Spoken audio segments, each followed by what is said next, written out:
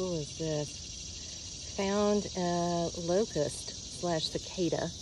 You can hear them in the background. Um, come up from underground. They live underground anywhere from 2 to 17 years. Fascinating to think that this guy or gal could have been underground for 17 years, just hanging out, and has now made its way up and out and is about to shed this exoskeleton, which I'm sure you guys have seen somewhere around on the uh, walls or trees or somewhere in your yard. Um, just a little exoskeleton.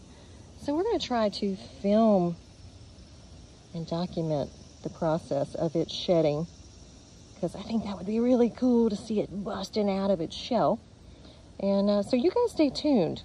We're going to see just how pretty this little cicada turns out to be when it comes out. Part two coming up. Hang out for more.